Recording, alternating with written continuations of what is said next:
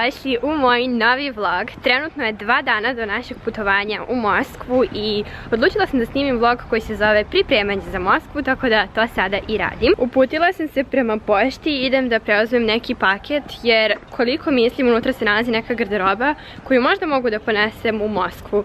Tako da ako je unutra garderoba bit će odlično jer ću imati super stvari koje ću tamo moći da ponesem.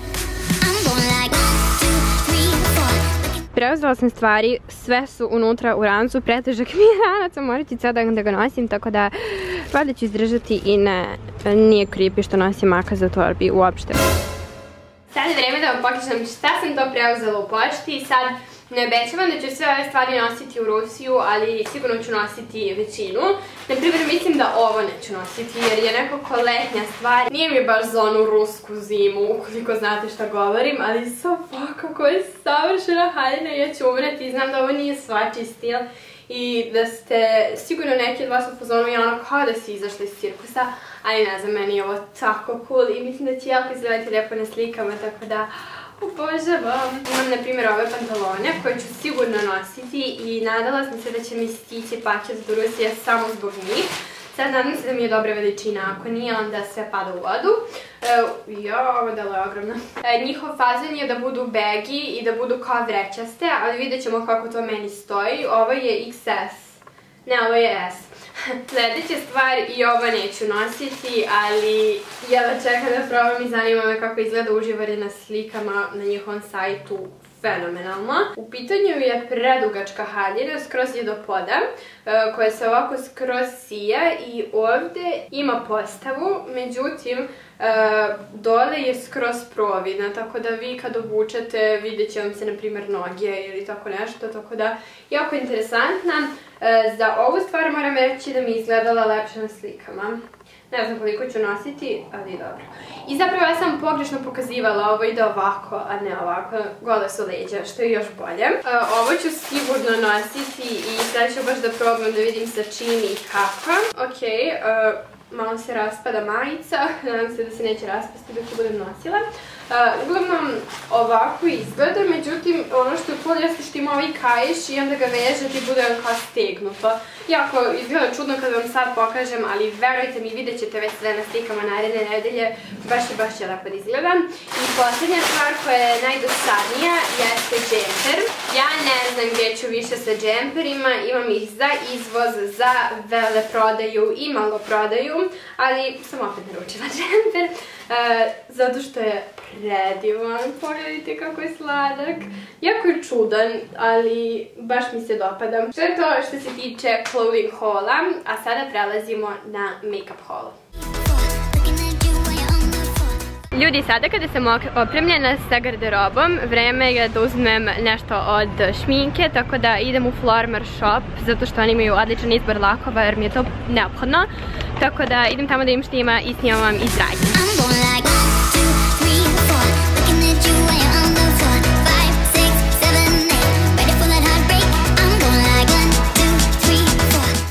stigla sam u Flormar i želim sada da odaberem neke lakove za nokte koje ću poneti na putovanje i pogledajte vi koliko oni ovdje imaju lakova.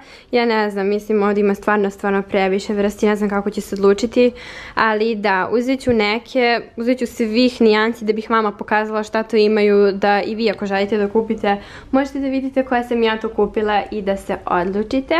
Tako da sada ćemo da krenemo da biramo. Ovdje sam sa strane stavila neke za koje sam se odlučila, ali pokazat ću vam kod kuće sve koje sam uzela, detaljnije da biste vidjeli bolje. Ovaj već imam kod kuće. Ove mi se mnogo dopadaju, ja inače obožavam te kao pastelne boje.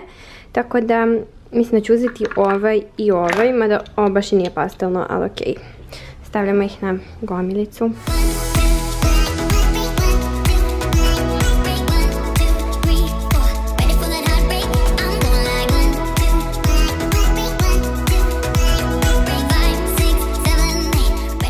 Ljudi, odebrala sam lakove. Pokazat ću vam kod kuće šta sam sve uzela. Ima stvarno svašta, tako da opremit ću nokte. Mogu svaki nokte da mažem u drugu boju, ali nećemo to uraditi.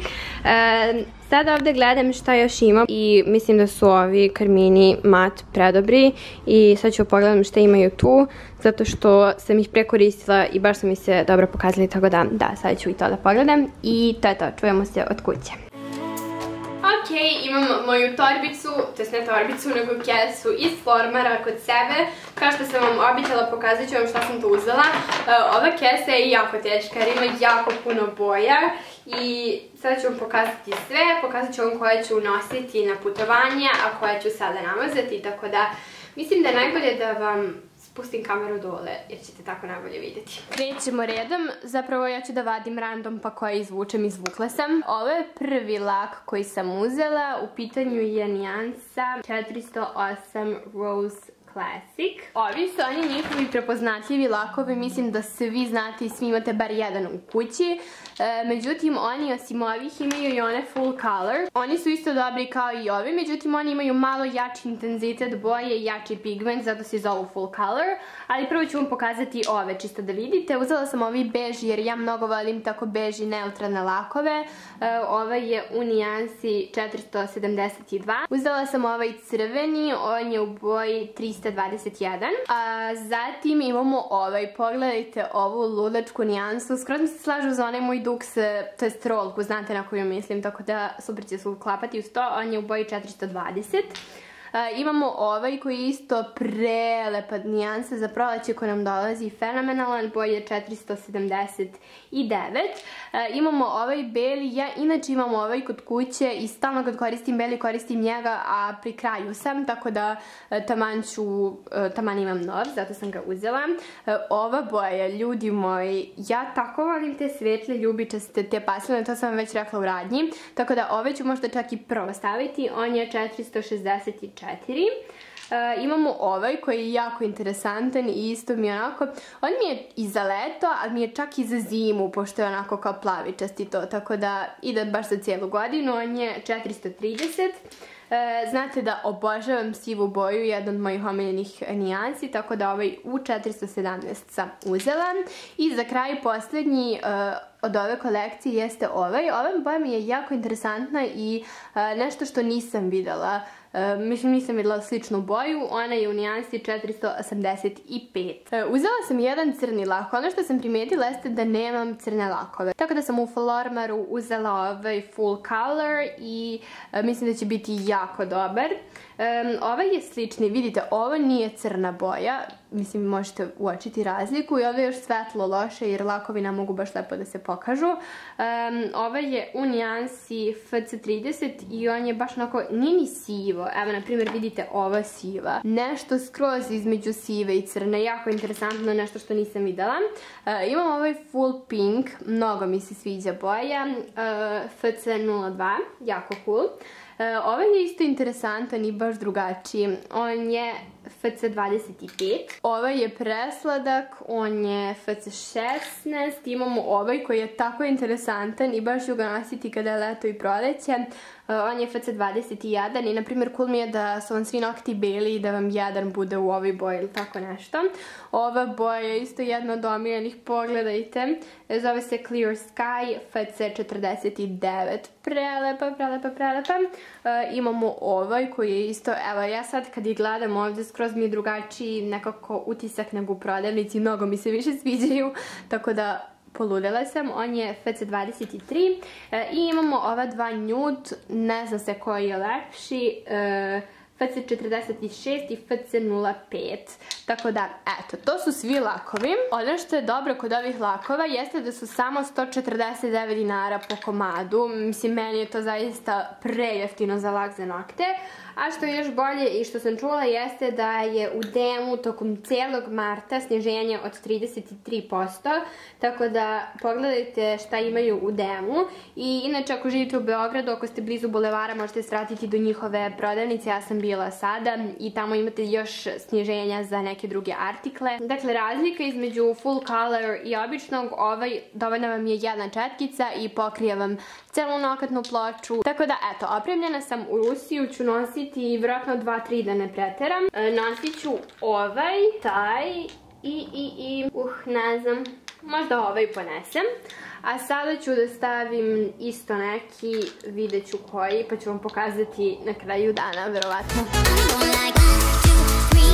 I vratila sam se iz prodavnice, ovdje imam neke stvarčice koje sam kupila za put, pa ću vam pokazati. U ovoj kesi se nalaze stvari koje su zapravo možda interesantne za pokazati. Ovdje su stvari koje definitivno nisu zanimljive, ali možda pokažem i to.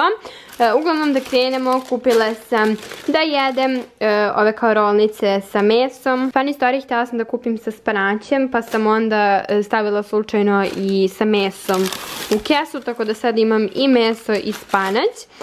Ono što je zanimljivo i što je bitno za put jeste puter od Kikirikija koji sam ja već otvorila. I to sam kupila dva zato što ću jedan nositi na put, a drugi će da mi ostane ovdje da nosim puter od Kikirikija Rikija na put, ali ja ga obožavam i ne mogu bez ove stvarčice. E, I ovo je moj apsolutno favorit. Zatim, ono što sam kupila, ja sam htjela da ponesem na put da grickam u avionu i slično, ali nisam mogla da odolim pa sam otvorila. E, u pitanju indijski orah i to isto obožavam i to je moj guilty pleasure.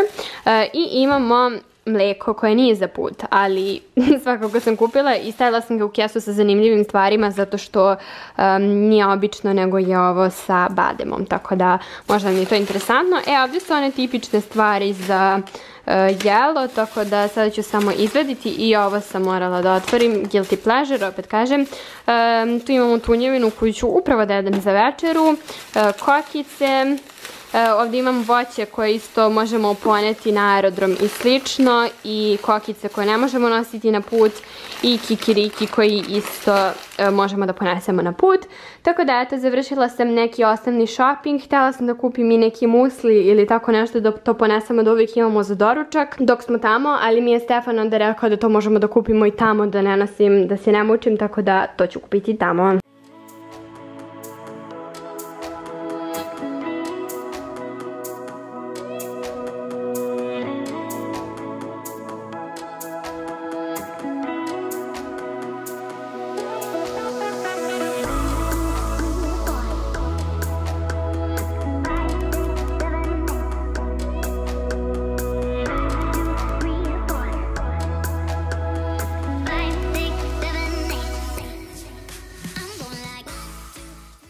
Ne mogu da verujem da sam uspela da zakopčam kofer, mislila sam da neću moći, ali uspela sam. Samo što fali još da ubacim kozmetiku i šminku, s tim što će pola šminke biti kod mene u torbi koju ću da sa sobom u avionu, a pola će biti unutra ono što je baš veliko i što ne može da uđe avion ako nije u koferu. Tako da, da, uspela sam. E da, i ovu torbu ću isto da stavim u ovu veliku da bi se čuvala prostor, tako da šta da radimo, mora se.